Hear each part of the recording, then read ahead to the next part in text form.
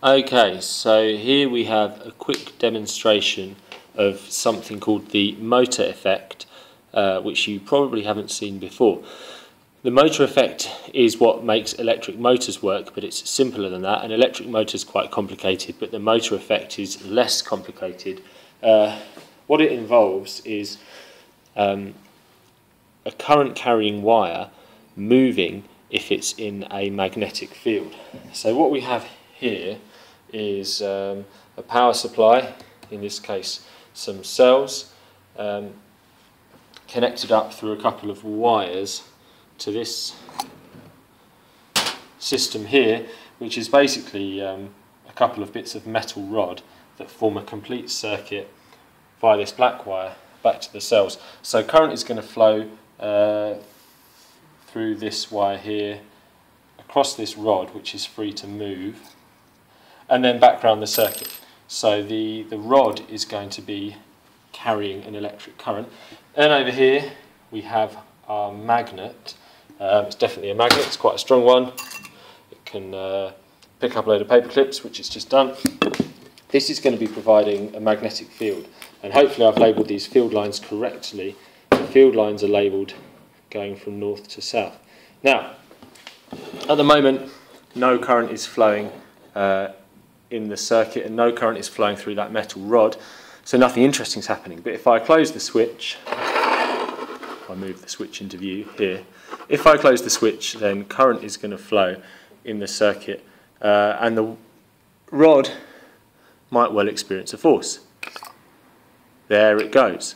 So the rod experienced a force which pushed it into the magnet. I'll show you that again. So when I close the switch and the current flows through the rod, it experiences a force and it moves. Um, you need to know the factors that will affect the force the rod experiences uh, and also how to predict which way it moves. So um, hopefully it makes sense to you that the more current, the greater the force. I'll try a lower current and see if it, it moves less impressively. Mm, still quite impressive. Try a lower current still. Oh, okay, so here we go. We've got a lower current and this isn't actually sufficient to get the rod moving. If I give it a little nudge,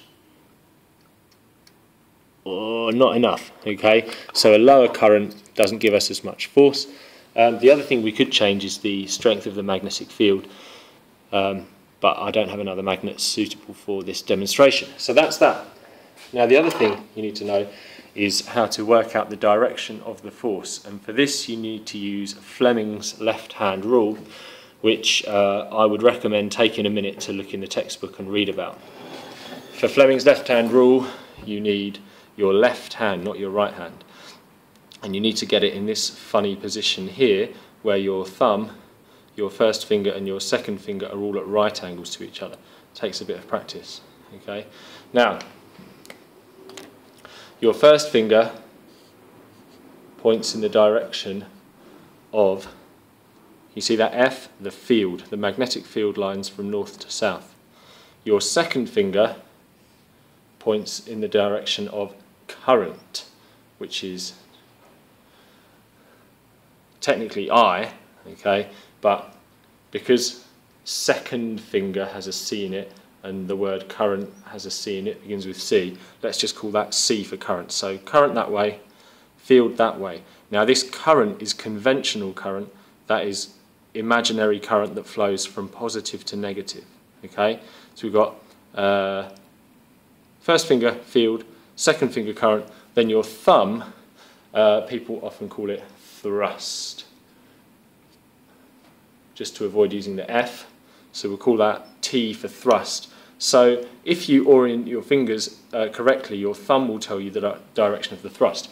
Now let's check this for our setup we had here. Okay, uh, it takes a bit of practice this, but you'll sort it out. Um, so first finger field, the field, I'm going to zoom out a bit if I can, this might be wobbly. The field is pointing downwards. We've labelled that.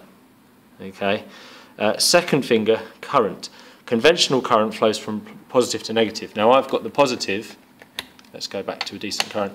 Positive is coming in this side, And so conventional current is going to flow across the rod that way. So first finger field downwards. Second finger current that way. That means my thumb thrust, I'll really zoom out now, is pointing that way into the magnet. Okay, you can't even see my whole hand here. So first finger field downwards, second finger current that way, thumb thrust that way into the magnet. So the, the, the rod is going to be forced into the magnet and that's what happens. Okay, You can reverse the force by reversing any of those things. Easiest for me is to reverse the field just by taking this out and turning it upside down. Now, first finger field is upwards. Second finger current is in the same direction that way. So first finger field upwards, second finger current that way. Now the thrust is going to be outwards. And if I make the current flow.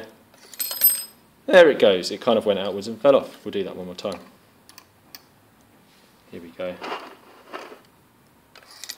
There we go. Forced outwards. Takes a bit of practice, this, uh, the left-hand rule especially because the questions in your exam are in two dimensions. They're obviously printed on paper, which is two-dimensional.